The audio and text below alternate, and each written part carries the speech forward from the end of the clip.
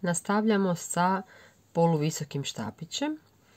E, znači to je jedna vrsta, a nešto između niskog i visokog, ajmo reći.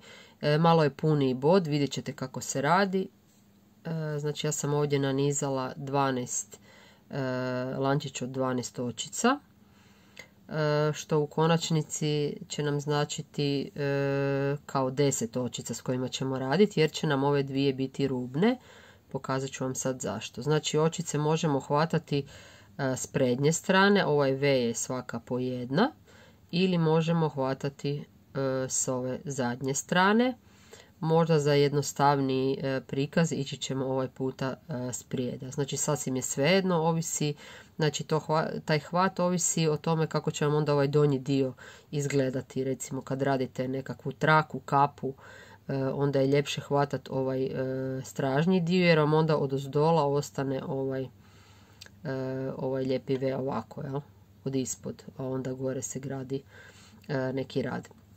Pa ajmo mi krenuti. Znači, za poluvisoki štapić potrebno je preskočiti dvije, dvije očice, što znači 1, 2 i radimo, krećemo tek u trećoj. E, zato što je to e, veća očica i jednostavno e, da ne vuče rad mora se ostaviti prostora za te dvije. Vidjet ćete sad zašto.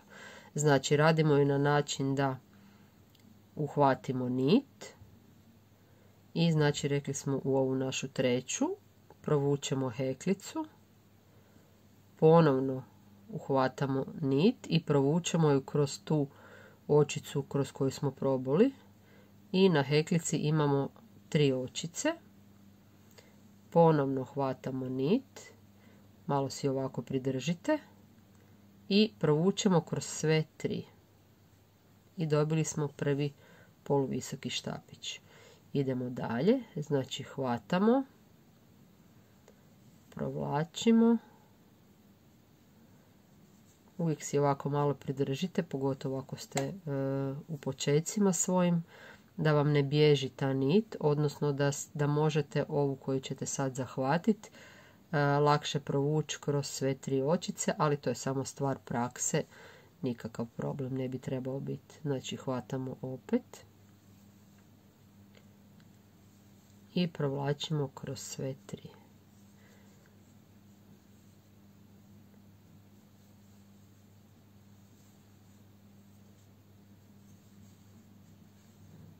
Bod je malo puniji.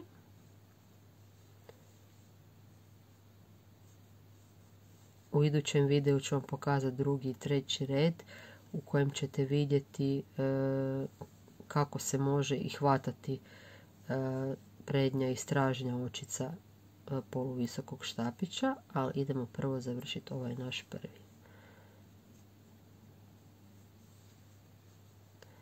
Znači hvatamo nit provučemo, opet uhvatimo nit, provučemo i kroz sve tri. I došli smo do naše zadnje očice. I provučemo kroz sve tri. Prvi red poluvisokog štapića je gotov.